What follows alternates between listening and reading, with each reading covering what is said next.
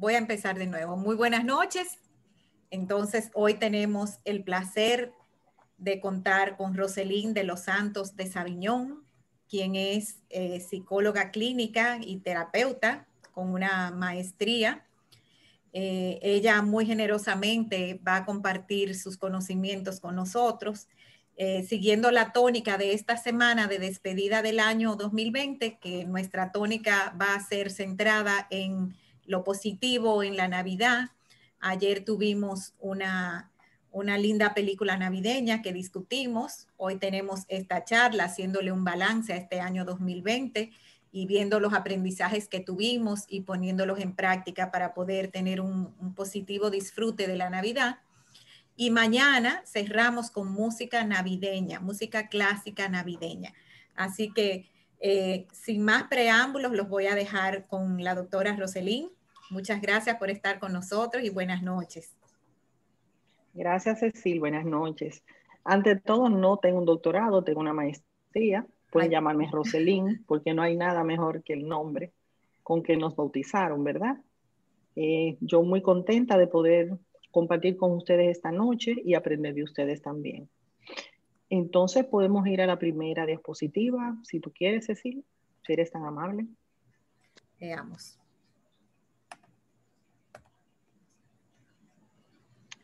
Empezamos así, basándonos en una premisa básica, eh, lo que hemos vivido, ¿verdad? Esto es una cita de Tolkien, el autor de eh, las famosas películas, bueno, de los libros, en primer lugar de las novelas, del Señor de los Anillos, pero es una frase que no tiene desperdicio.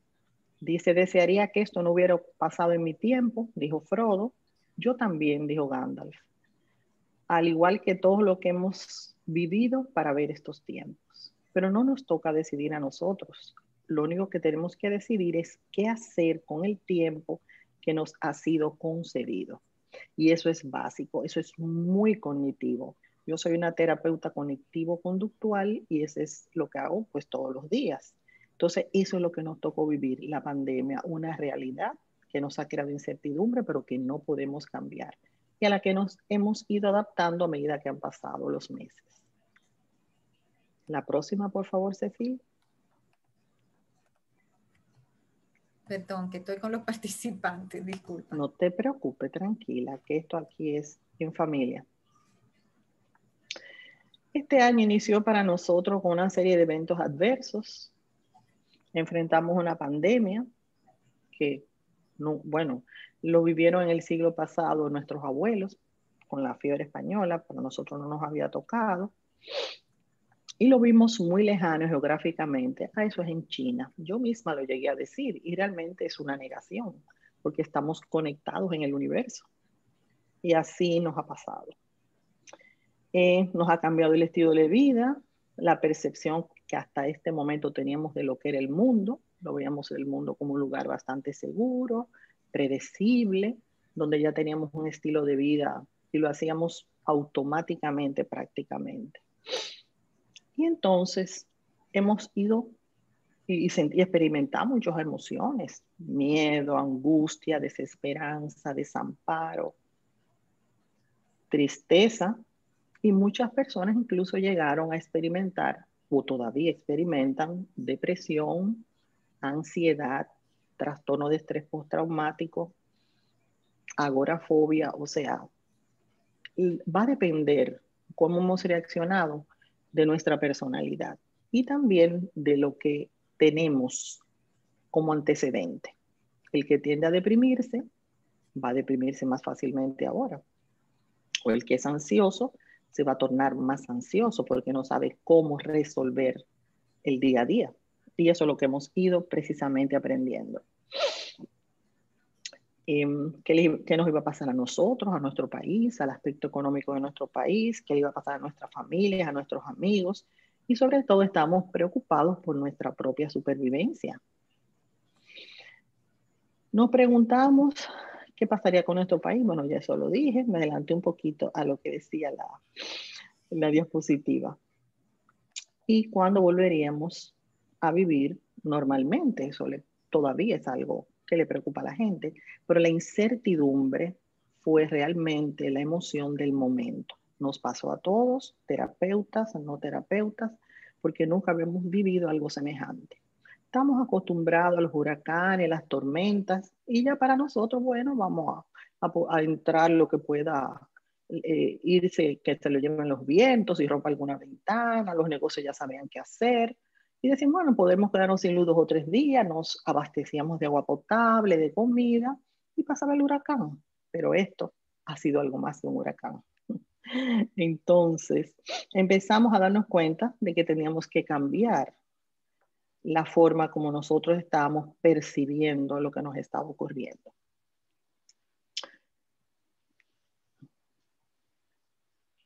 Eh, cómo nos estamos percibiendo a nosotros mismos, a nuestras experiencias y también al futuro, algo muy importante.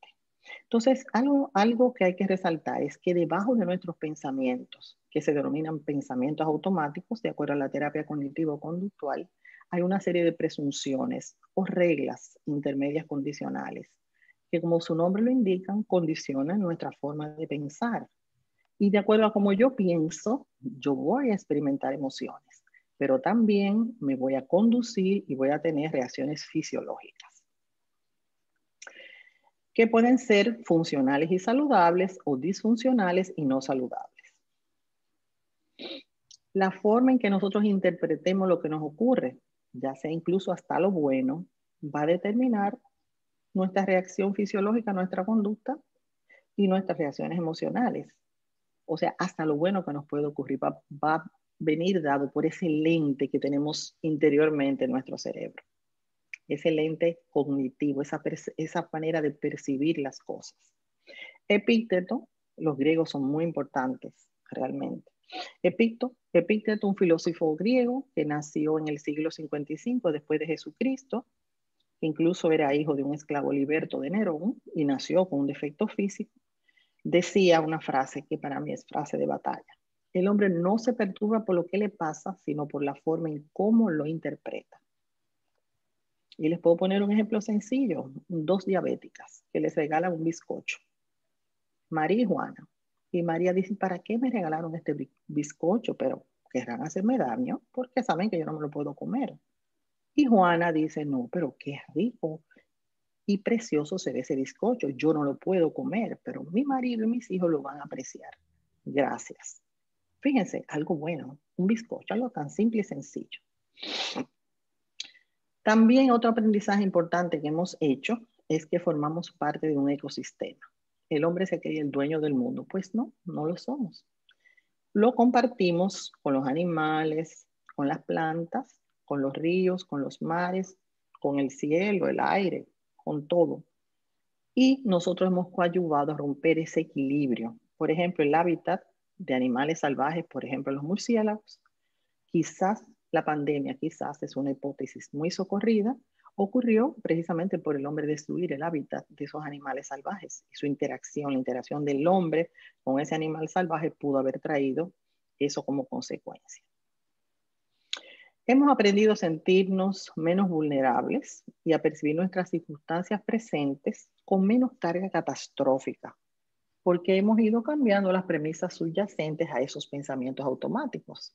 Por ejemplo, si yo soy una persona que digo, debo tener control de todo lo que acontece alrededor mío, de pronto la pandemia me quitó el control de todo.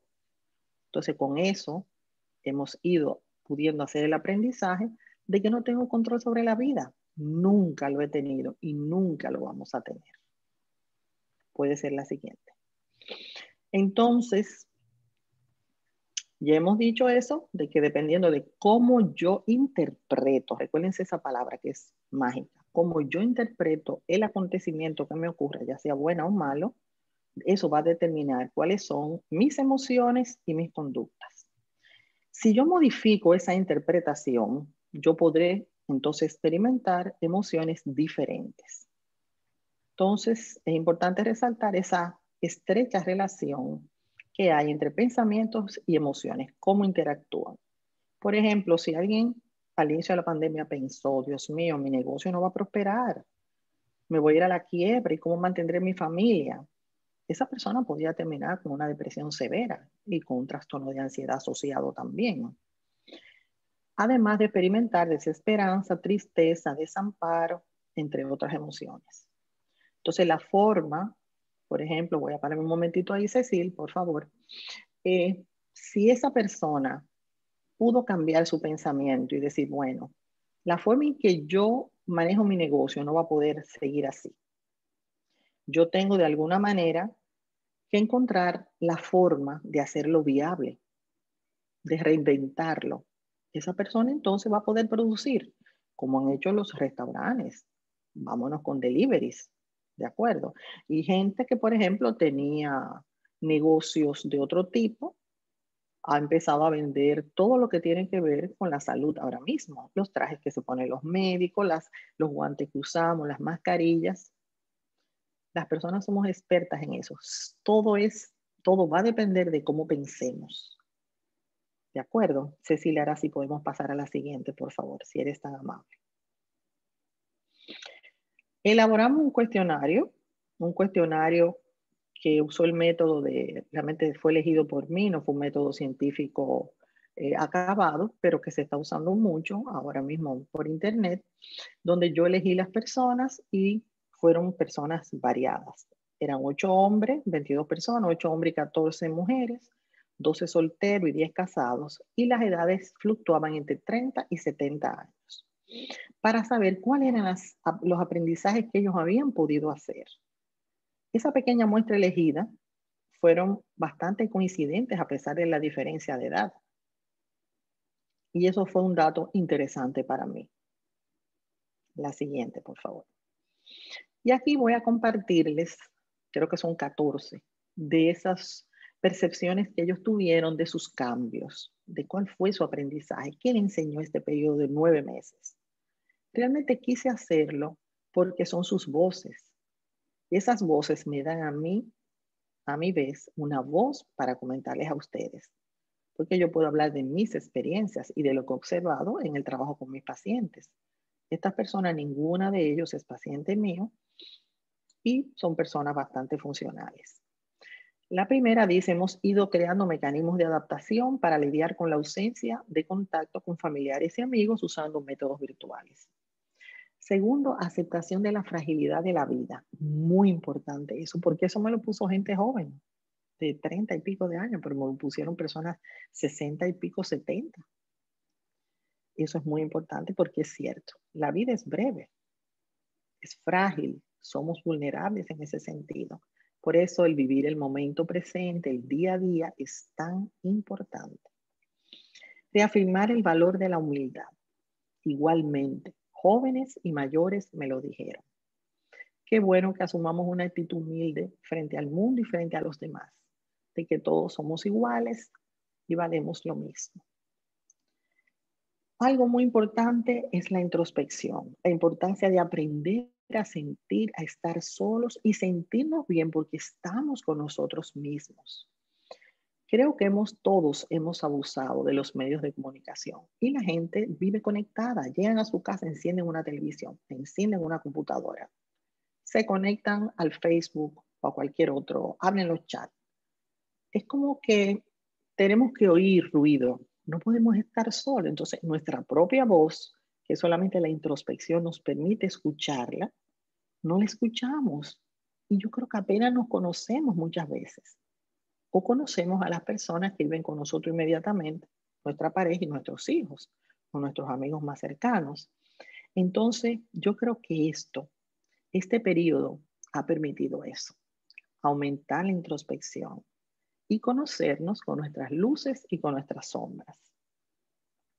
Pero también hay que mirar hacia afuera y conectar con el otro. Eso es también importante, son dos miradas, una hacia adentro y una hacia afuera.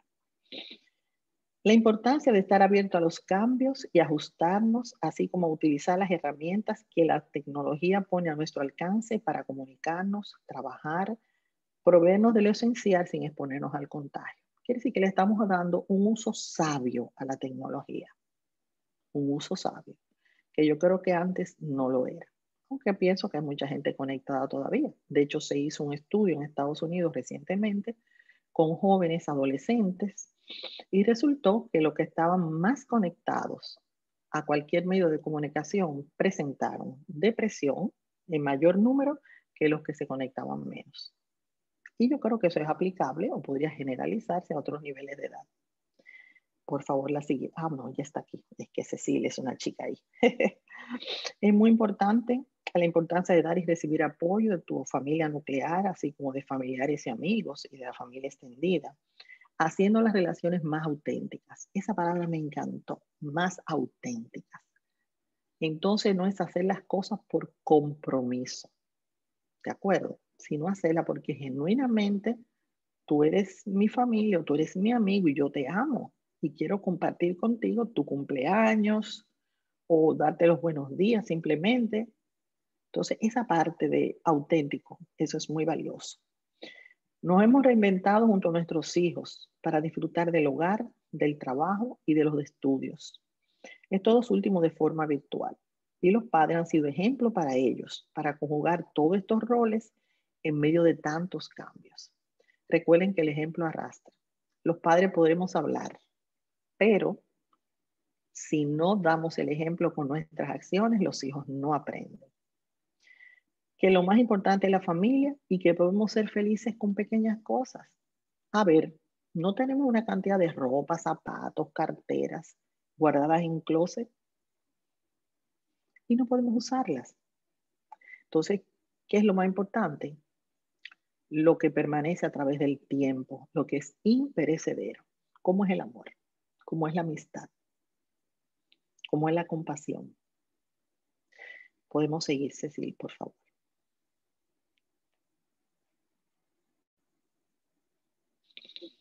Hemos puesto en práctica nuestros mejores talentos y hemos podido ver oportunidades en medio de la adversidad. Que la solidaridad, la solidaridad, la empatía y el trabajo en equipo son la clave del éxito. Bravo. Es reconocer eso. No estoy sola en el mundo, vivo en sociedad. Y tanto en mi casa como fuera de ella es darle al otro la parte que le corresponde en el trabajo que estamos realizando y darle valor a eso que el otro hace. La importancia de valorar la salud y la vida. Damos por sentado las cosas. Ah, no, pero yo estoy saludable, yo estoy bien en la vida, la vida está ahí, yo lo vivo todos los días. Oh, no, Ahora nos damos cuenta que la vida es frágil, por lo tanto nosotros somos frágiles también. Entonces yo creo que eso ha sido un gran aprendizaje. Oportunidad de trabajar en metas que por falta de tiempo tenía aplazadas. Por ejemplo, muchos jóvenes han hecho su trabajo de grado, que los tienen en en el 2021, en mayo, y muchos se han puesto en adelantado, o sea, han sabido utilizar el tiempo de manera sabia. Este me gusta mucho y fue un joven de 30 años residente en Estados Unidos quien me lo envió. Dice, la percepción de lo que es importante en la vida ha cambiado. Eso ya lo dijimos, pero esta segunda parte es la que más me gusta. Y esto se reflejará necesariamente en las prioridades de la generación actual. O sea, que la pandemia va a dejar sus buenos frutos. Si es así, y yo espero que así sea, que esta generación, desde pequeñitos hasta adultos jóvenes, haya aprendido.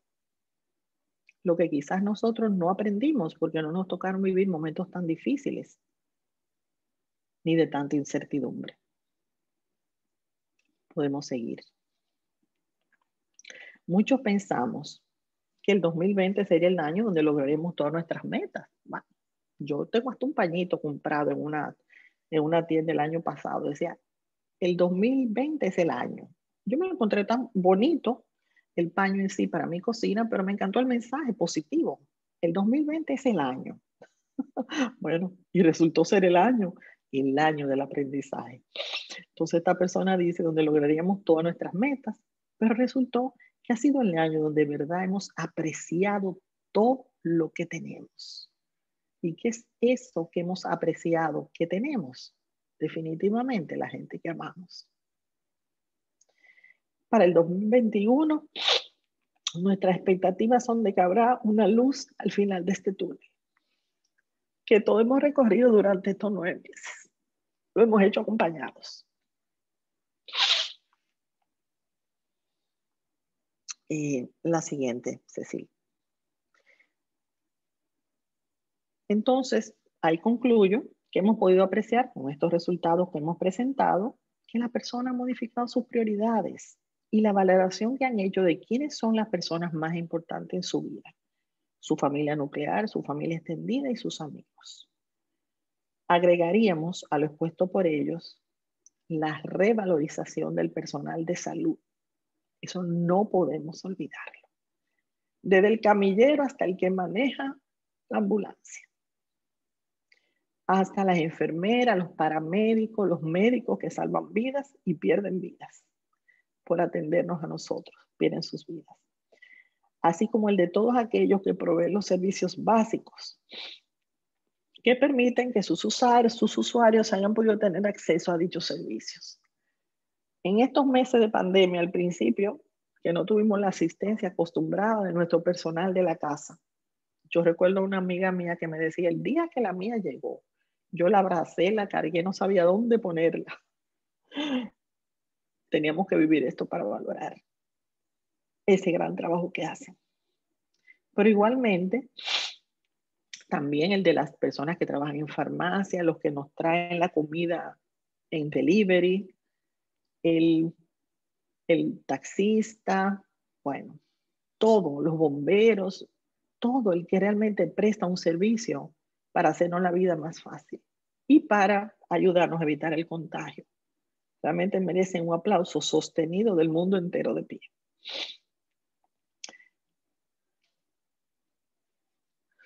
El mundo se ha conectado a través de plataformas digitales. Eso ha sido bueno. Y hemos podido llorar y alegrarnos juntos. Los principales artistas han ofrecido hermosísimos conciertos para darnos ánimo, al igual que actores y bailarinas. Los principales museos y bibliotecas han abierto sus puertas para enriquecer nuestro espíritu y también nuestro intelecto. Hemos viajado virtualmente y conocido remotos lugares a través de una pequeña pantalla. De igual manera, los científicos se han unido para buscar alivio y salida a esta pandemia. ¿Cuánto hemos aprendido?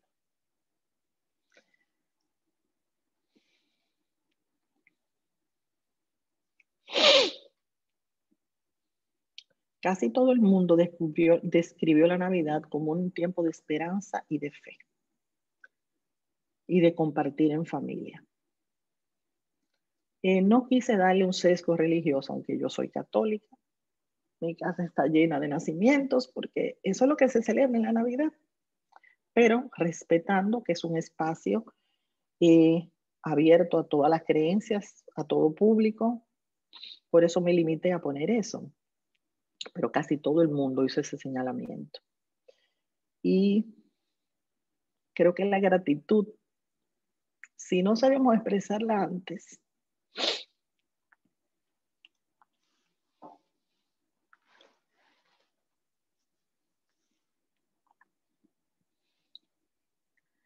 este es el momento que hemos aprendido. Déjame ayudarte para que te desanugues. Es para concluir, dice que es muy importante mostrar gratitud por quienes nos enseñaron a valorarla, o sea, a valorar la Navidad, aunque ya no se encuentren físicamente con nosotros. Podemos disfrutarla porque su mensaje va más allá de una celebración festiva o de adornos y regalos. Correcto. ¿Eh? Gracias por, ser mi, por ser mi alter ego. que ya no estén con nosotros. Eh, ellos nos enseñaron a valorarla y, y todavía están con nosotros para disfrutarla de esa manera. Paso. Así es. Con esto tú concluyes, ¿verdad? Pero vamos a abrir el micrófono para que las personas puedan, déjame dejar de compartir. Para que las personas puedan hacerte preguntas y comentarios. Eh, eh, señores, ustedes pueden eh, a través del chat, déjame ver que hay unos comentarios. Bueno, Raquel nos dice un éxito el Zoom. Entré de una vez, Albricias. Sí, es, menos mal. Era un pedido eh, que ya era un poco consistente entre los usuarios del centro cultural. Sí. Que preferían tener Zoom, eh, que usáramos Zoom, se sentían más cómodos. Sí. Entonces, bueno, pues complacidos están. La que todavía no sabe manejarlo 100% soy yo, pero en eso está. bueno, te ha manejado excelentemente. Felicitaciones, Cecil. Gracias, gracias. Estamos aprendiendo. Eh, excúsame por la emoción del momento, pero somos humanos y nos tocó vivir pérdidas, no directamente. Y los recordé.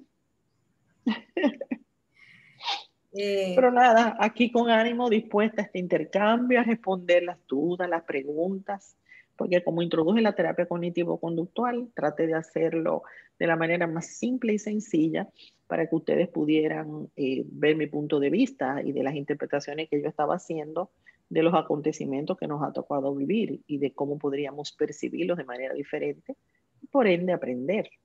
Entonces, yo quisiera que ahora... explicar un poquito, cuando tú mencionaste... Sí, cómo no. a ver, ¿cómo se dice? Sí. Cuando tú mencionaste como de, las, las... Sí.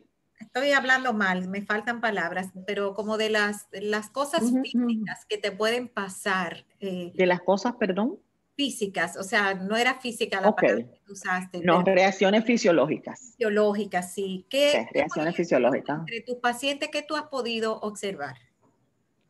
Como no, por ejemplo, en los trastornos de ansiedad es evidente, taquicardia, alteración del pulso, eh, llorar, eh, poliuria, o sea, necesidad de ir al baño muchas veces, ir a orinar, por ejemplo, pero sobre todo eso, o por ejemplo, sentir eh, anestesia en la cara, en las extremidades. O sea que son... Somatizamos la ansiedad. Somatizamos la ansiedad. Emocionales, son personas que... Reacciones fisiológicas, reacciones fisiológicas. Algo simple y sencillo, tú vas caminando por una calle y de pronto un perro sale ladrando detrás de una verja, la adrenalina se activa, tu cerebro te dice corre, tú sales corriendo, pero tu corazón está mil. Entonces una persona, por ejemplo, que sufra de ataques de pánico, cuando enfrenta una situación X, esa persona piensa que se va a morir y termina en la emergencia de la clínica porque el corazón está mil. Entonces una de las cosas que yo les enseño es que tenemos un sistema nervioso autónomo Quiere decir que nadie lo manda, él solo se activa y que se divide en simpático y parasimpático. El simpático es el que te activa y que te dice, corre para que el perro no te agarre. Y el parasimpático luego va poniendo todo en orden y ese corazón va a volver a latir normal. Pero cuando ellos se sienten así, porque son personas que tienden a ser ansiosas, entonces dicen, ay Dios mío, es un infarto que me va a dar y terminan en muchas veces en la emergencia de la clínica. Yo he tenido pacientes con, con este tipo de trastorno estando yo en consulta, que me dicen, ay, mire, no voy a poder llegar porque voy a la clínica ahora a la emergencia. Y le digo, no, ven para acá, ven, vamos a enfrentarlo aquí, vamos a hacer aquí relajación y todas las técnicas. Y aprenden entonces y se dan cuenta de que no se murieron porque no se iban a morir, porque el corazón le latiera o porque la frecuencia cardíaca aumentara. ¿De acuerdo? Porque es eso, el parasimpático entra y nos calma. Definitivamente. sí, un año de mucho aprendizaje. A mí me encantaría si nuestros participantes, algunos quieren compartir parte de esos aprendizajes que han tenido, o sea, algo que haya sido un cambio este año en su vida eh, y que haya sido a causa de, de, la cuarentena, de la pandemia, del, o alguien que haya tenido que sacar habilidades que no tenía y que las haya podido Exactamente. O que hayan, se, se hayan sentido que han tenido que, que, que, han tenido que buscar ayuda, eso tampoco es malo. Yo he tenido que ayudar a mucha gente y sigo en eso. Así que no tiene nada de malo. puede abrir su micrófono o puede escribirlo por el chat o puede también abrir su cámara si así lo desea.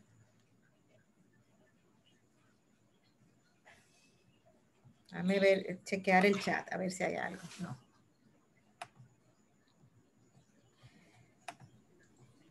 ¿Qué tú dirías entonces?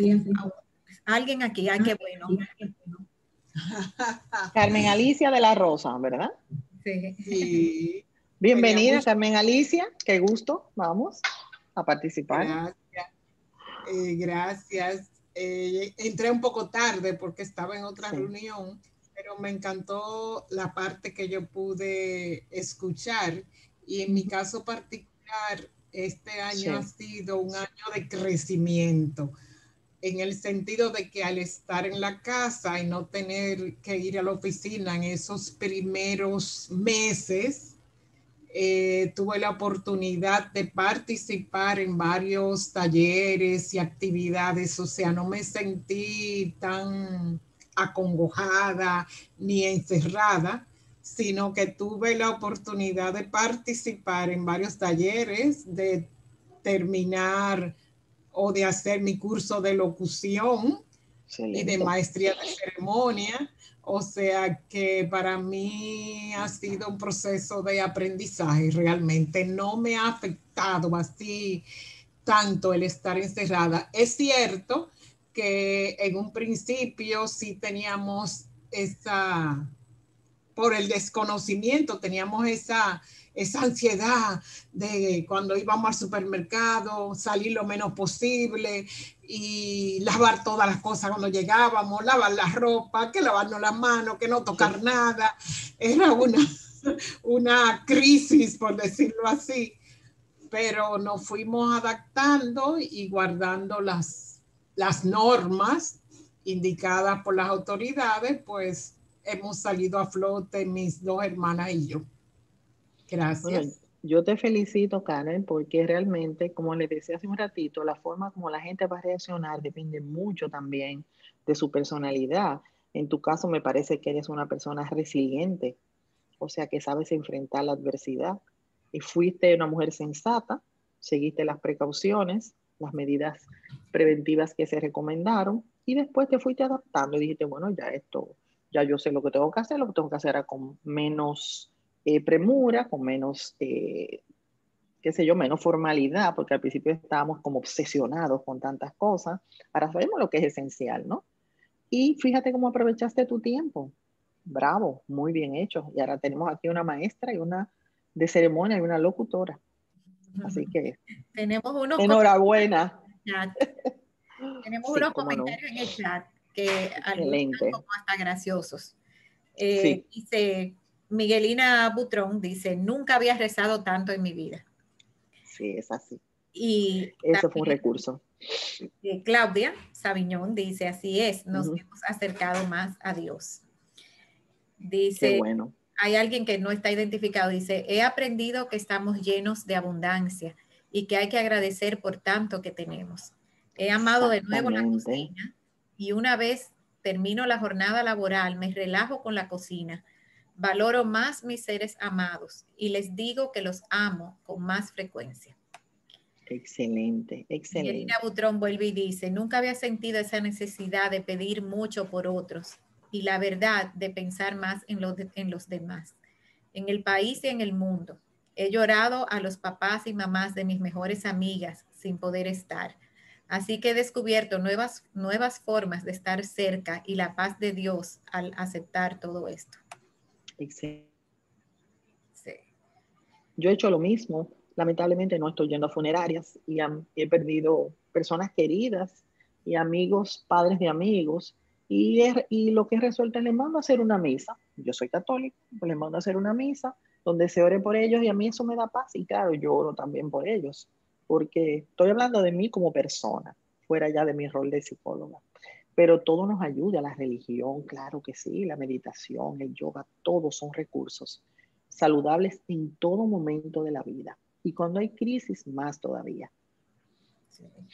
Yo creo que, todos hemos aprendido mucho de nosotros mismos, que quizás ni sabíamos, quizás no sabíamos todo lo que éramos capaces de hacer.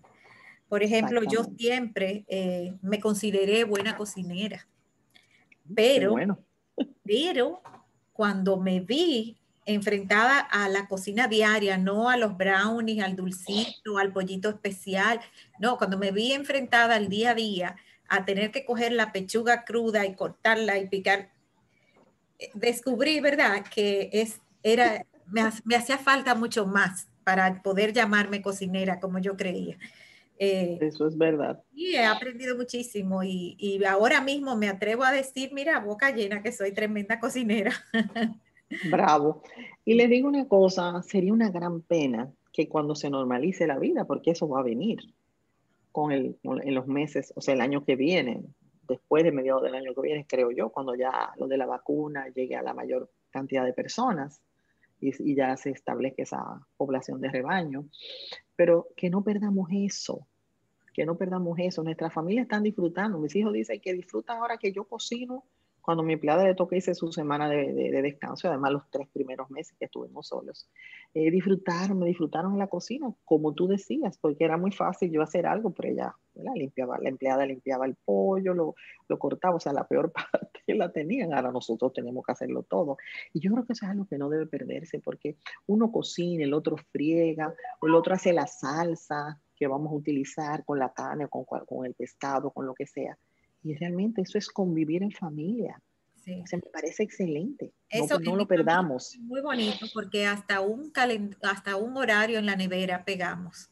Entonces, ahí estaban las tareas del día. Y tú ves que para que no cargar mucho a uno más que a otro, entonces iban cambiando. Si a mí me tocaba mojar el patio hoy, mañana no me tocaba, me tocaba otra cosa.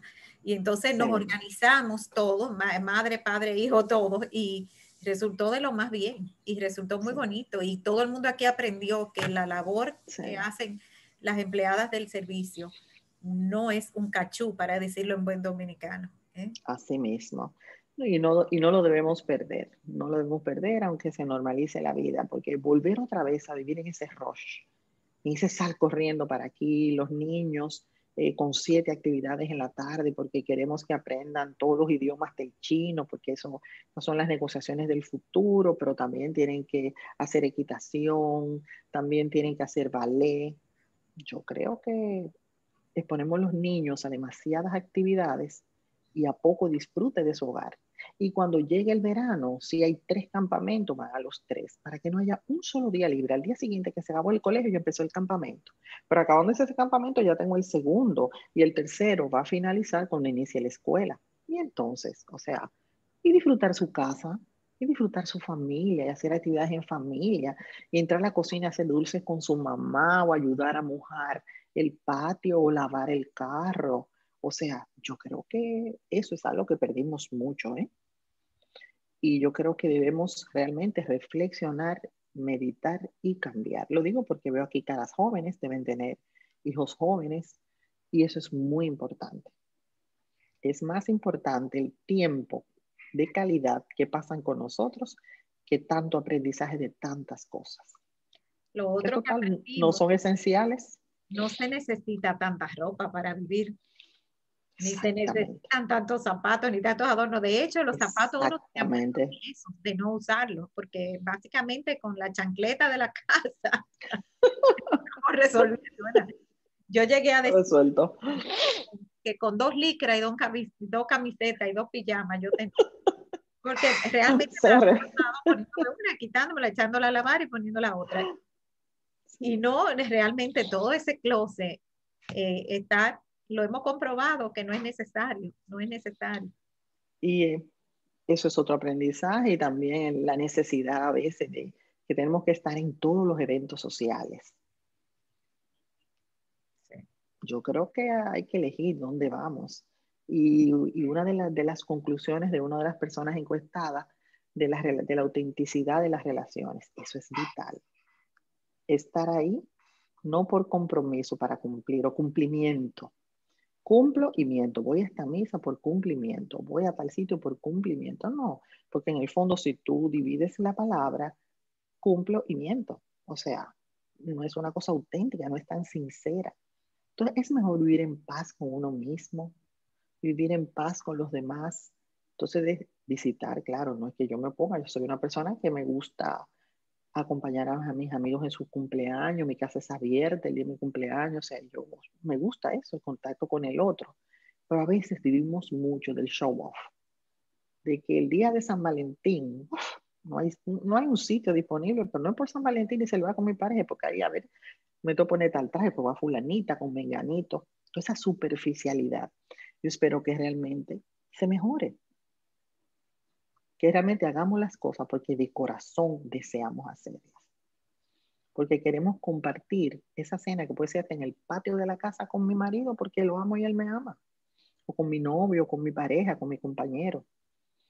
Yo creo que esos son cambios, porque la pandemia nos ha enseñado eso, a que las relaciones auténticas son las que perduran.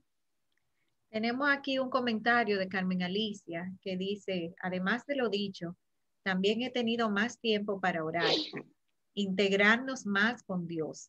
También descubrí la habilidad para la cocina y crear platos. Sí.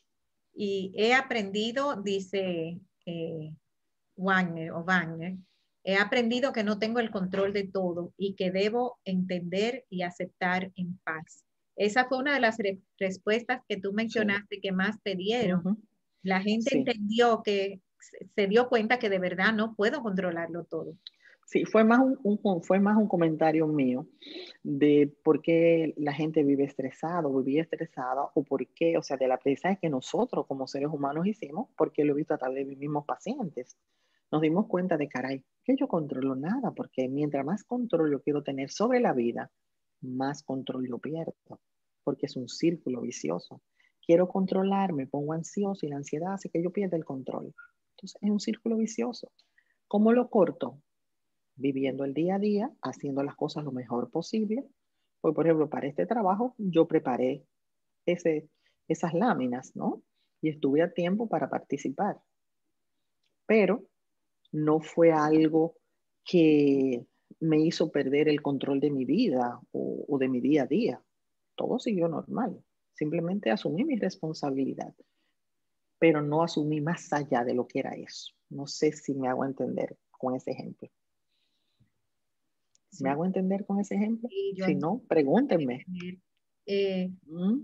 Yo pienso que para, para muchos que no hemos tenido las pérdidas directas, sí. Eh, pues con todo y todo, hablar de aprendizaje y de todo, se nos hace un poco más fácil. Pero a quien tuvo una pérdida directa, a quien perdió un hermano, un primo, un marido, un tío, un, abuelo. Un padre, un padre. una madre. Una madre, claro. Un hermano, pues, eh, y por qué no un hijo también, ¿verdad? Eh, Así es. Que, o sea, ¿qué tú le dirías a ellos en este momento? Sabemos que estamos valorando, sopesando, aprendiendo pero ahí debe haber algunos pesos mucho más difíciles de manejar que otros. Sí. Eh, fíjate, y de las personas que me contestaron el cuestionario, yo elegí porque fue una, una muestra elegida, personas que habían perdido familiares muy cercanos, precisamente para escucharles. Y lo que coincidían todos era que el, el, protocolo del pésame ha cambiado. Cuando digo protocolo es porque algo ya que va en nuestra cultura. Eh, esos nueve días de acompañamiento, que dicen que, el nueve es un número mágico en el sentido de las tradiciones, ¿verdad? Y no desde ahora. Entonces, esos nueve días de acompañamiento que la gente no tuvo, ese no poder despedirse de su, de su pariente, de su familiar, ese no poder sentir el abrazo de los amigos, de la familia más cercana, fue muy duro para ellos. Le dificultó, ellos sienten que le dificultó su proceso de elaboración del duelo. Realmente el duelo es parte de nuestra vida. La vida es, como dice una canción brasileña, bueno, Raquelita, que pone siempre canciones tan hermosas en su, en su programa con su marido, se llama así Encuentros y Despedidas, porque esa es la vida. Y todos nosotros formamos parte de la vida del otro. Por eso, cuando alguien se va, algo de nosotros se va también, pero algo de ellos queda en nosotros. Entonces, es ayudarlos, por ejemplo, a los que he podido ayudar, es hacerles ver que era algo que no podíamos controlar. En vida y muerte nadie controla. Dios, la vida, como ustedes quieran llamarle. Entonces, enseñar, por ejemplo, quitar el sentimiento de culpa. Uno de ellos, por ejemplo, me decía que eso le había afectado mucho, no estar ahí, para la persona fallecida, el que no tuvieron ese último contacto, no se pudieron despedir. Y bueno, pero es que era un protocolo médico que todo el mundo llevó y aún así, fuera de la pandemia, ¿cuántas personas no mueren en cuidado intensivo? ¿Cuánta gente no muere en un accidente? Y nadie tiene la oportunidad de despedirse. Y cuando nos vamos, todos dejamos una lista de cosas que queremos hacer y no llegamos a hacer. Entonces, es ver la muerte como parte de la vida. Hay mucho miedo a morir y quizás por eso vemos la muerte con miedo. Pero la muerte es parte de la vida, como nacer. Y eso ayuda a la gente, esos sentimientos de culpa, de por qué yo no estuve ahí, si yo hubiera hecho tal cosa, que eso es lo que se llaman las reglas intermedias condicionales dentro de la terapia cognitivo-conductual. Es yo debo, yo tuve, yo debí, si yo hubiera. Entonces, si lo hubiera llevado antes al médico, se lo hubieran detectado y no, y no se hubiera muerto el COVID. Eso puede ser un pensamiento. Entonces, ayudamos al paciente a crear un pensamiento alterno fue al médico cuando presentó los síntomas y realmente por condiciones físicas que tenía, el virus no pudo ser controlado y por eso la persona falleció. Entonces, es un enfoque optimista realista, o sea, le hacemos ver que esa es la realidad y que ellos no podían hacer nada. Y entonces conectándolo con la Navidad, todos hemos perdido un familiar próximo a diciembre, al 24. Y realmente esa silla vacía es dolorosa. Pero tenemos que recordar los buenos momentos, lo que nos tocó vivir, porque eso es lo que queda. Por eso es tan importante el día a día decirnos y decirle a los que queremos, te amo, demostrárselo y compartir lo más que podamos. Pero oye, algunos se van a ir y no nos vamos a dar ni cuenta. ¿En qué sentido? Fallecen en su casa y tú dices, ¿cómo? Pero pero yo lo vi ayer, yo hablé ayer con él o con ella, pero es así porque no tenemos control sobre la vida y sobre la muerte mucho menos. Pero la muerte es parte de la vida y así tenemos que considerarla. No sé, Cecil, si eso responde a tu pregunta. Sí, sí. Eh, hay un escrito de Isabel Allende que anda circulando con respecto a eso. Ah, ok. Que ella dijo. que ella perdió a su hija, Paula. Ella perdió a su hija y que después que su hija murió, ella le perdió el, miedo a la muerte. Porque ella dice, la tuve en mis brazos cuando murió y vi que morir es como nacer otra vez. Sí. Es, parte de la vida.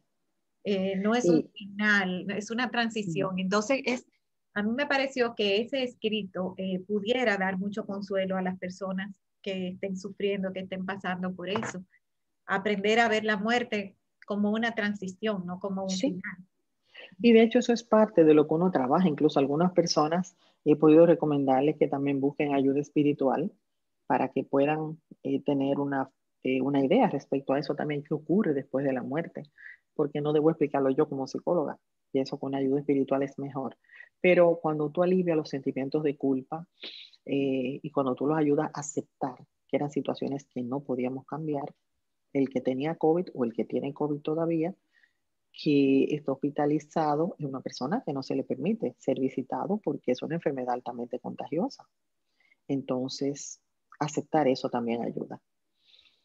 Dice, tenemos un comentario aquí, que dice que poco a poco, desde pequeños, nos deben enseñar que la vida y la muerte son caras de una misma moneda y que es una despedida temporal.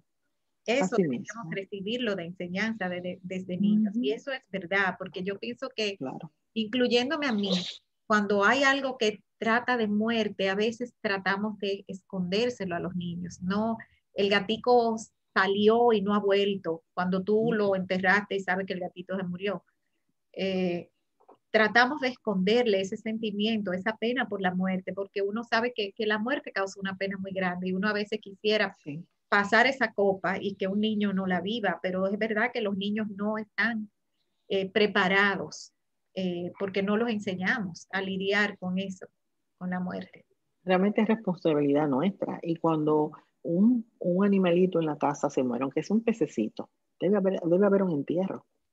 Así mismo y participar todos y decir cada uno un recuerdo sobre el pececito, hacerle cartitas al pececito, orar por el pececito, aunque parezca una incongruencia, pero es así. Todo eso ayuda. Por eso le digo que las personas que han sufrido pérdidas ahora, ese tiempo de no tener contacto con los demás para recibir ese alivio, ese abrazo, ese consuelo, hace falta. Pero en esos nueve días empezamos a elaborar nuestro duelo. Y las personas aquí están solas, no se velan, van, lo entierran y van a sus casas y solamente reciben el apoyo de la familia y los amigos más cercanos a través de, de una plataforma digital, que no es lo mismo con un abrazo, pero que es lo que está y tenemos que aceptarlo. Y qué bueno que está, porque si no lo hubiéramos tenido, yo digo, la gente de la gripe española, de la fiebre española, esa gente no tenía, no tenía los recursos que nosotros tuvimos y sobrevivieron también. Pero realmente la muerte es parte de la vida y tenemos que aprender a verla con naturalidad. Lo que pasa es que nos duele la pérdida física. No lo voy a escuchar, no lo voy a abrazar, no voy a hablar. Eso es lo que más nos duele. Entonces tenemos que verlo de otra perspectiva. Está en mis recuerdos, recuerdo las cosas agradables que hizo, veo las fotos que nos tomamos, las pongo donde yo las pueda ver, eh, guardo alguna pertenencia de recuerdo y quizás hasta la uso, un reloj, un anillo, un arete. Porque es eso. El, ritual, por ejemplo, en la cena de Navidad, vamos a suponer que hay una familia donde hay una pérdida reciente. ¿Qué ritual se pudiera hacer? O sea, ¿qué, ¿qué, tú harías en la cena de Navidad? En la cena de Navidad. Por ejemplo. Sí. Bueno, haría la cena de Navidad. Sí, porque esa misma persona participó y me enseñó a mí a hacerlo de niño o si era un tío, siempre estuvo. Hay que hacerlo porque el ejemplo arrastra, como dije ahorita. ¿Y qué yo quiero? Pasarle a mis hijos lo que yo recibí de los míos.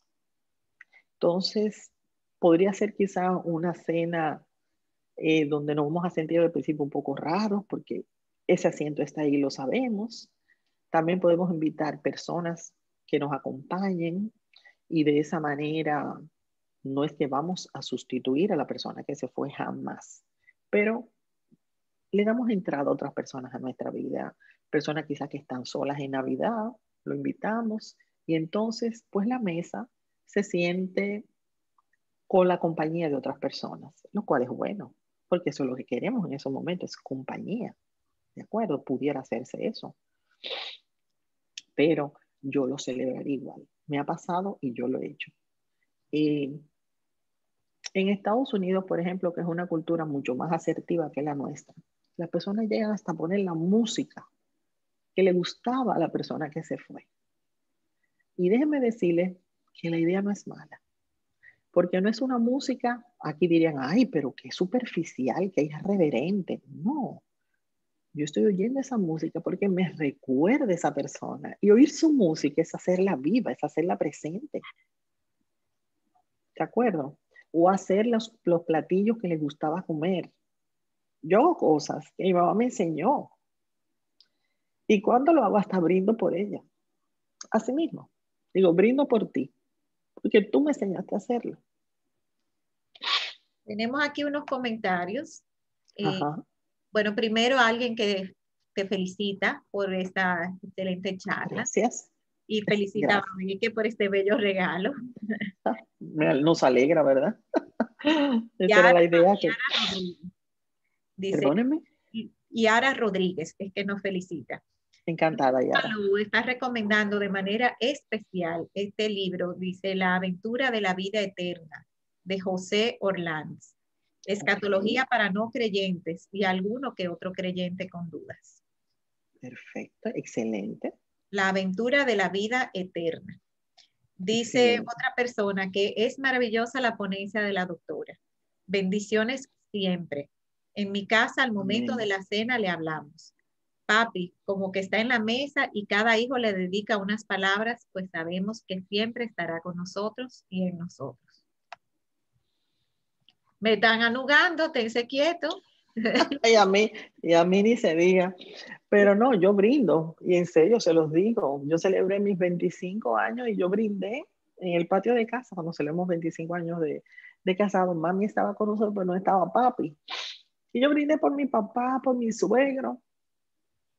Porque están ahí, señores. Están en el recuerdo, están en el corazón. Tú sabes y Eso, y eso es lo grandioso. Eso es lo grandioso, la muerte justa porque están ahí ellos. Además, es como que vamos en un tren y simplemente se le salieron primero que nosotros en una estación. Nosotros vivimos en otra estación que esperemos sea más lejana, ¿verdad? porque todos queremos vivir, pero tenemos que vivir también con nuestros fallecidos. Son parte de nuestra vida. Y mucha gente equivocadamente, al otro día que alguien perece, abre un closet y limpia todo y quita las fotos. Y yo, ¿cómo? Pero eso es una negación. Sea, eso es terrible. Tenemos que dar un tiempo. El duelo toma su tiempo. Se habla hasta de un año. Y vuelvo y les digo, es parte de la vida ¿eh? y, toma su tiempo de adaptarse. Hay duelos más difíciles que otros de aceptar, definitivamente. Eh, los autores de duelo dicen que la muerte de un hijo es el duelo más difícil, el de la pareja, el de los padres, pero simplemente amamos y vamos a sentir la ausencia de esa persona que amamos es algo que tenemos que entender y entender al otro que está pasando por eso. Entonces la gente le dice, no, pero no llores, no, no, no, eso te hace daño. ¿Cómo va a ser? No podemos negar las emociones y nuestra cultura tiende mucho a eso. Un niño se da un golpe en una rodilla y le duele y le decimos, ¿y por qué tú lloras? Eso no es nada, usted es un hombre. No, señores, hay que ir y decirle, ay, mi amor, ¿cuánto siento? O sea, ser empático. ¿Cuánto siento? Que te duela tu rodilla porque te caíste. Mira, a mí de niña me pasaba también cuando me caía de una bicicleta o montando patines. Pero tenemos que ser empáticos y reconocer las emociones, no hay por qué negarlas. Y en nuestra cultura eso pasa. Hay algunas pérdidas que se han experimentado con la pandemia que no están ni relacionadas con la salud, que están relacionadas con el encierro. Hay parejas que no han sobrevivido que no han sobrevivido a estar juntas cuatro horas y que, no oh. lograron acoplar de esa manera. Y la pandemia trajo algunas pérdidas de ese tipo. Eh, sí. Mira, es normal, ¿eh? Es normal. Eran gente que estaban destinados a separarse. Lo que pasa es que la pandemia es como igual que cuando se casan los hijos y hablamos del nido vacío, ¿verdad? Oye, ya no están los hijos para hablar de ellos, para resolver problemas de ellos, y porque solamente esa pareja se comunicaba para eso. Entonces, cuando los hijos se van, son dos extraños. Yo soy una película muy buena que les recomiendo que se llama así mismo, creo que es Argentina, El Nido Vacío. Entonces, aquí es más o menos un fenómeno parecido. Son dos extraños que quizá no se toleran, que no se quieren y viven peleándose el uno al otro. Entonces, yo siempre, yo creo mucho en el matrimonio, yo soy muy pro familia, pro matrimonio, pero también entiendo que el divorcio es un mal necesario. Porque, oye, la vida es un banquete para disfrutarse.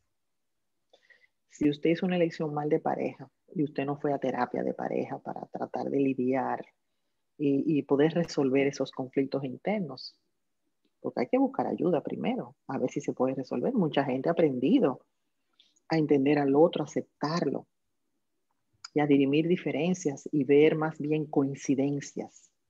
Pero si eso no ocurre, desgraciadamente, el divorcio es un mal necesario, porque entonces, oye, el resto de tu vida tú no tienes por qué hipotecarlo. Eso es lo que yo siento, que la gente hipoteca su vida. Y no es así. Usted tiene que ser feliz y hacer feliz a los que están alrededor suyo. Si eso es imposible de lograr, hay que tomar decisiones entonces pero siempre abogo por una terapia de pareja primero, intentar ver que podamos llevarnos bien. Tenemos aquí una persona que dice, desde que soy padre, la muerte ha sido un pensamiento constante y que me provoca mucha angustia. ¿Cómo no? Claro. Sí, mira. Espérese, si usted no es ah, adolescente andando en carro de noche, bueno, pues espérese ahí, que usted va a saber. ok, ok. Bueno, no, no, eh, yo he vivido todo eso. Claro que sí, yo entiendo perfectamente lo que está diciendo la persona. Pero fíjense algo, es una manera de pensar eh, con creencias nucleares de catástrofe y de vulnerabilidad. O sea, de que cualquier cosa mala puede pasar. Va un poquito con las personas obsesivas, que siempre piensan que algo malo le puede pasar a las personas que yo amo o a mí misma. Realmente no podemos controlar la vida. El obsesivo siempre intenta controlarla. Cuando ya un hijo tiene 18 años, tiene una licencia para conducir y sale, tú lo has educado, ¿verdad? Para que sepa que se respetan las señales de tránsito, que si tú bebes no manejas, eh, y ese tipo de cosas, que si hay un amigo que está manejando que está ebrio, llámanos que te buscamos la hora que sea. Pero tú no puedes tener la vida de tu hijo y meterlo en una cápsula de cristal, porque entonces le haces daño psicológicamente, lo castramos. Tenemos que demostrarle que realmente usted tiene 18 años y según nuestro país ya usted es una persona mayor de edad. Tenemos que realmente tratarlo como eso. Entonces, eso es aprehensión, eso se llama ansiedad anticipatoria. Y en terapia se puede ayudar. Pero lo primero es cambiar nuestros pensamientos. En lugar de pensar, ay Dios mío, le puede pasar algo, un accidente. Eh, me imagino que eso es lo que piensa la persona, ¿no? Un accidente en las calles de nuestro país. Es decir, no. ¿Y si no le ocurre ningún accidente? Entonces el pensamiento es, ¿y si le ocurre un accidente? Una estrategia dentro de la terapia cognitiva es decir lo opuesto.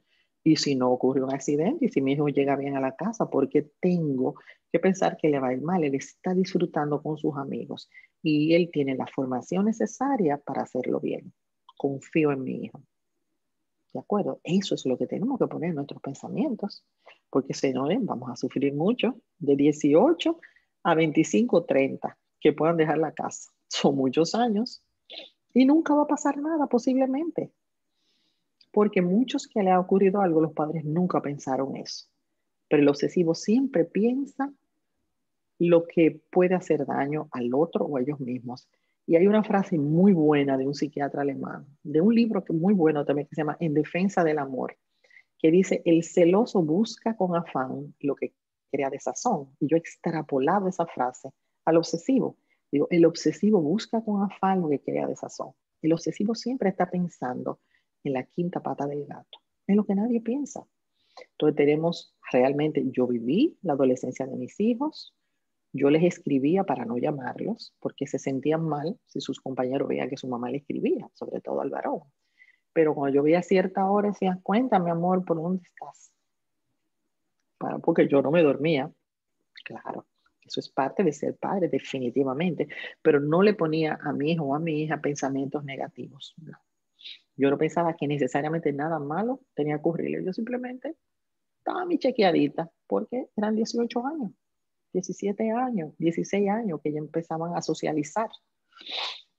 Y entonces yo me sentía tranquila ya cuando llegaban a su casa. Y de suerte que yo soy nocturna, me gusta ver mis peliculitas viernes sábado hasta más tarde, y yo me ponía a ver películas pero no, no era con, eh, anticipando ansiosamente, porque eso nos hace daño. Y no resolvemos nada, esa es la mejor parte. ¿Qué resolvemos? Pensando que le va a pasar algo malo a un hijo. ¿Evitamos que algo malo le pueda ocurrir? No, porque nosotros no tenemos ese poder. Tenemos que entender eso. Hay lo que se llama una creencia nuclear, que es el fortune teller, o el que adivina el futuro. Entonces vivimos haciendo pronósticos y si yo iba a tal sitio y pasa tal cosa, y si mi hijo sale y le pasa tal otra. Pero oiga, usted no tiene poder para saber el futuro, usted lo lee, ¿no? Usted no tiene esa capacidad. Entonces suelte y diga que su hijo tiene ya todo lo que usted le enseñó y que va a llegar bien a su casa. Bien, hemos aquí sería... Sí, cómo no. Perdón. Perdóname. ¿Y vas a decir alguna otra cosa? No, no, creo que con eso es suficiente. Sí. Digo, yo no sé si la persona sintió que yo le contesté. Eh, la persona que tiene que decirme si se sintió contestada, clarificada. Bueno, si no se sintió clarificada, nos pone ahí, ¿verdad? En el chat. Exacto, puede hacerlo. la pandemia nos ha mostrado lo que llevábamos, llevábamos mucho tiempo sin aceptar. Es una oportunidad para empezar de nuevo. O sea, es un comentario, no es una pregunta. Excelente, ¿no? Pero excelente. Oye, es que la vida, no solamente la pandemia, pero la vida, cada día es una oportunidad de comenzar de nuevo. Perfecto. Excelente conclusión. Eh, aquí está Luis Alou, que fue quien nos recomendó el libro hace un momento. Ah, qué bueno. Sería bueno que tú lo pusieras, por favor, en el chat. en el chat, porque yo lo leí. Ah, ok, ok, perfecto. El nombre del libro está en el chat. Al final de la vida, cuando se encontraba ya en las puertas de la muerte, un amigo y discípulo, presente en su agonía, le hizo al oído una pregunta. Maestro, ¿qué es lo que siente usted en estos momentos? La respuesta del moribundo fue digna de un genio y la fe de aquel gran cristiano. Una inmensa curiosidad. Eso es un extracto de León Boyd, uno de los grandes escritores modernos de lengua francesa cita La aventura de la vida eterna. Excelente. Ah, lo voy a comprar el libro, me ha interesado. Y para poderlo recomendar a mis pacientes, claro está, pero me gusta leer primero antes de recomendar. Aunque la recomendación de Luis, me imagino, tiene que ser muy valiosa. La persona que habló de, del temor eh, con los hijos. Del hijo, ok, ok. Su hijo ¿Qué tiene dice? cuatro años. Pero el ¿Cuánto tiene? doctora, él solo tiene cuatro años, su hijo. Ah, perdón. Yo creía que era un adolescente. Sí, no, pues eso fui yo que Oh. Espérese hasta que, Ok, ok. hasta que lo vea andando en carro de noche. Ok, todavía, la doctora, todavía. o sea, el consejo tuyo, me ha Sí, dado sí. luz para el futuro de mi joven experiencia como padre. Claro que sí. Realmente no podemos, le hacemos daño a nuestros hijos si vemos todo con temor. ¿Por qué le estamos pasando eso? Los hijos aprenden de lo que ven, no de lo que oyen. Si ven un papá aprensivo, entonces, ¿qué vamos a hacer? Educar a una persona ansiosa. Así que empiezan los trastornos de ansiedad en la infancia. Eso del fortune teller que tú dijiste, del que adivina el Sí. futuro, el muchachito se pone unos patines y tú empiezas, te vas a caer, te vas a caer. Y el muchacho se cae. Sí, porque tú se lo estás marcando, ¿no? Tú se lo estás marcando ahí. Sí, no, y una cosa, el cerebro de- del niño, todo lo absorbe como una esponjita y nuestro cerebro responde a lo que nosotros pensamos. Por eso es tan importante hablarnos de manera positiva. Yo estoy bien, vamos a salir adelante. Esto es un periodo de prueba del que hemos ido aprendiendo, pero se va a ir, como se fue la, gripe española en el número 1918, porque hemos viajado a Buenos Aires, hemos ido a Madrid y nadie ni se acuerda de eso. Así pasará todo pasará. Entonces nos damos, nos damos pensamientos de aliento, de fortaleza. Pero eh, lo que pasa con otra cosa con los niños muy importante es lo que se llama la profecía autocumplida, que es un término en ciencias, self-fulfilling prophecy. Tanto yo digo, ese muchacho no va a servir, que no sirve. Pero o ese, mire, se va a llegar a ser presidente. Y si es bueno, valdría la pena, ¿verdad? Pero es así, se llama así. La profecía autocumplida. Entonces, espera lo mejor de tus hijos y tus hijos te lo darán. Mira, dice Carmen Alicia de la Rosa que a ella le ayudó mucho orar y poner a su hijo en la protección de Dios, que los ángeles, Perfecto, hablando siempre de manera positiva. Y dice que el libro está de venta en librerías Paulina. Excelente, Valga muchas gracias. Valga la, la cuña, la payola. Bueno, no sé, señores, yo creo que ya hemos tenido un lindo conversatorio por hoy y agradeciéndole a Roselín esta participación y que nos haya dedicado su tiempo y su sabiduría y a todos ustedes por estar con nosotros. Eh, ah, una cosita más que dice aquí en el chat, dice el libro tiene solo 91 páginas. Sí, porque es algo muy gracioso, pero eh, lo he visto en nuestra cultura, quizá en otras también pasa, pero la gente está muy atenta a eso. ¿Y el libro es largo o corto? Señores, lo importante es el libro. La No importa que tenga mil páginas. La costumbre de leer, porque ahora todo nos lo dan Sí. visual, entonces... Sí. No, yo no cambio mis libros. No, no, no, no, no. Yo no cambio mis libros, por eso fíjense que lo puse. Y le dije que agradecíamos a los museos que abrieron sus puertas, pero las bibliotecas, grandes bibliotecas del mundo que abrieron sus puertas para que pudiéramos leer, incluso con audiolibros, ¿verdad? Sobre todo para las personas que no son videntes. Entonces, el libro es la mejor compañía que podemos tener en momentos de soledad, porque tenemos que tener momentos de soledad, ese espacio que nos dedicamos para nosotros. Todo el mundo necesita marido, esposa, hijos. Es el tiempo de sus gratificaciones. Y la lectura puede ser una gran gratificación, hermosísima. Aprendemos, viajamos, conocemos de otras culturas, nos conectamos con el mundo. O sea, la lectura es sinónimo de aprendizaje y de disfrute. Para mí lo es por lo menos. Y agradezco eso a mis padres, que muy temprano en mi infancia me lo inculcaron. Y eso mismo he hecho con mis hijos. Un niño aprende el hábito de estudio. ¿Saben a qué edad? A una edad tan temprana como los cinco meses. Usted le ojea el libro. Oiga, y el niño va viendo que usted pasa página y va oyendo y asocia. Y se gratifica porque lo que va oyendo le gusta, porque estamos leyendo lectura acorde con su edad. Entonces, el libro es la mejor compañía, la mejor compañía, claro. las personas también, no quiero que me malinterpreten, pero en esos momentos de, de ocio que son nuestros, pues es escuchar una buena música, es eh, leer un buen libro, eso es, eso es magnífico, porque no tenemos que estar conectados hablando todo el tiempo. Y abusamos de eso, aunque sea en el chat, aunque sea en el Facebook o en lo que sea, porque ahora hay demasiados y hay mucha gente que está en todos. Y mientras más están en todos, más felices están.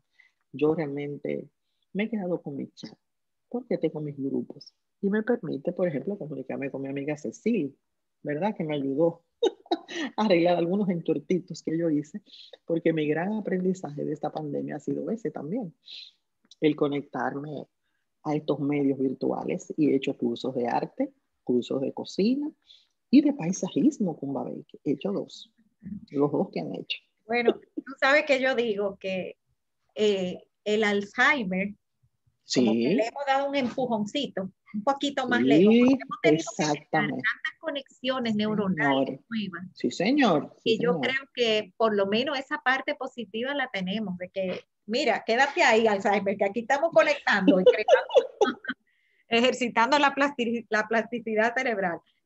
Eh, Así mismo es. Aprendemos, acuérdense, la, la plasticidad neuroinducida por el aprendizaje. Esa es una cualidad de nuestro cerebro descubierto recientemente. Eso. Neuroplasticidad inducida por el aprendizaje. Todo lo que nos permita aprender, ese cerebro va a ponerse mejor. ¿De acuerdo? Porque el cerebro tiene capacidad de aprender ilimitada y no lo usamos en la totalidad que él, que él dice, puede, úsenme, úsenme. O lo usamos para cargarnos de pensamientos negativos que acompañan entonces emociones negativas, como el ejemplo de hace un ratito con el niño de cuatro años. Y si mi hijo le pasa algo, "Uy, ¿por qué yo estoy poniéndole esa carga al futuro de mi hijo? No, no, tengo que vislumbrarlo, verlo crecer y graduarse y casarse y tener sus hijos y yo veo a mi abuela, o sea, todas esas cosas. Esas son las proyecciones que tenemos que hacer, futuras, positivas. antes del cierre, vamos a ver. Y cómo no, ajá. Bueno, primero dice que es un encuentro muy edificante. Eh, hay otra persona que da las gracias a Babeque eh, por los maravillosos regalos semanales y nos desea feliz Navidad. Eh, otra persona que dijo que los mensajes positivos levantan la autoestima de los hijos. Y Carmen Alicia dice, me encanta leer. Cuando éramos niñas, mis hermanas y yo, todas las semanas comprábamos un libro cada una y teníamos tres libros nuevos cada semana. Qué lindo. Y lo intercambiaban y después hacían. Centro Cultural Babeque por estos encuentros edificantes. Excelente encuentro el de hoy. Otra Me persona escucharte a ti, Roselín, ha sido una gran gratificación. Mil gracias a Babeque. Gracias, a Gracias. ustedes que están presentes y que nos siguen. Eh, más felicitaciones. Bueno, muchas felicitaciones, Roselín. Así que muchas gracias. Bueno, las felicitaciones a ustedes realmente, porque mira qué intercambio tan hermoso hemos tenido. Sí. Y así pues yo he aprendido también al escucharles. Mucha gente calladita, pero eso pasa en todos los sitios, no todo el mundo opina, pero sí han escuchado y sobre Además todo de han escuchado. De PowerPoint que te di. Sí, ¿verdad? exactamente. Pero lo importante es que si escuchamos, escuchamos, pero no un escuchar de yo escucho, sino un escuchar atento, que me llega un mensaje, que me permite eh, trabajarlo dentro de mí y que haga eco dentro de mí.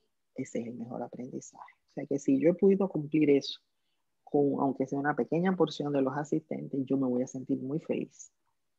Porque por eso acepté la invitación de Cecil, aunque estos son días en que uno tiene muchas cositas, aunque uno no salga.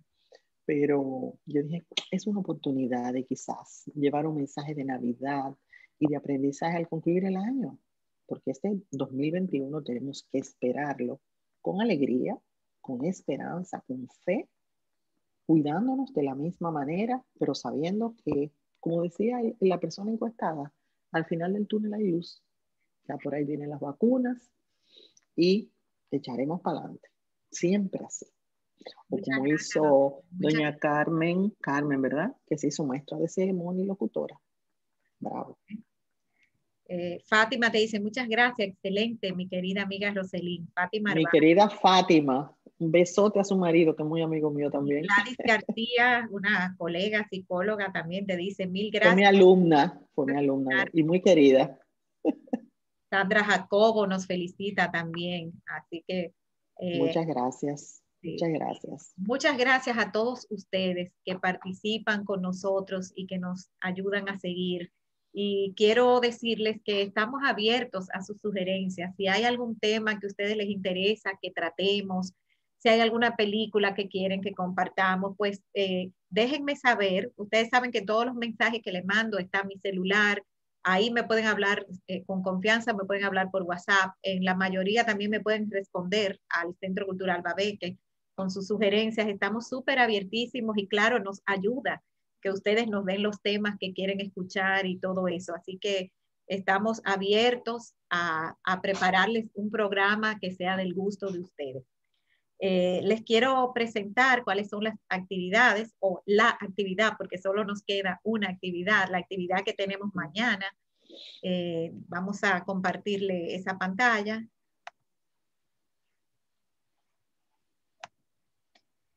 Este, bueno, pues ya mañana, esto es lo que nos queda. A ver, ¿y por qué no responde? Esto es lo que nos queda. Eh, mañana cerramos las actividades del 2020 del Centro Cultural Babeque con este encuentro musical a cargo de Carmen Rita Malagón, que nos va a presentar música clásica de Navidad. Mañana por Zoom a las siete y media, abierto a todo el que quiera, que ustedes pueden reenviar esa invitación y disfrutarla. Y aunque esto no está aquí eh, eh, visualmente, hoy esta tarde eh, recibí y compartí en el Instagram del Centro Cultural una coral muy preciosa porque hoy, día 16, ah, no, perdón, hoy 16, no, no es, sí, exacto, hoy es día 16. Hoy 16 de diciembre es el cumpleaños 250 de Beethoven. Para quien hicimos oh. todo ese tributo, hoy hubiera sido su cumpleaños 250. Y por casualidad, hoy se cumplen siete años eh, de fundado el coro de cámara del Ministerio de Cultura Coribe, en el cual, valga la cuña, canta mi hija.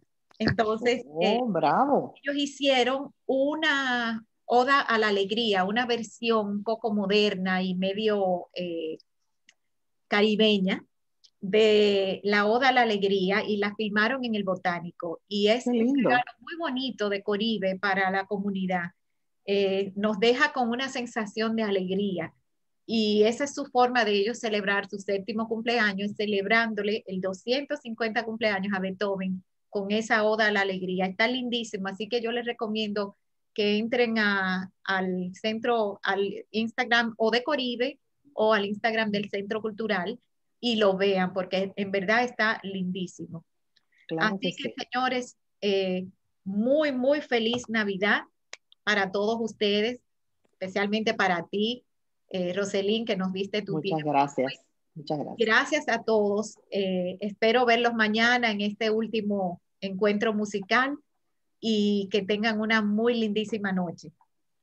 Roselín, después mira el chat, que hay muchas felicitaciones para ti. Mil gracias felicitaciones realmente por estas navidades, que el amor les acompañe, la fe, la esperanza, igualmente para el nuevo año también. Vamos a esperarlo con alegría, con optimismo. Muy buenas gracias, Elin. Muchas gracias. Bye, Rosa. Un placer verte, mi amor. Un abrazo. Igual un abrazo. Un abrazo. Igual para ti. Gracias. Buenas noches. Bye bye, buenas noches. Gracias a todos por acompañarnos.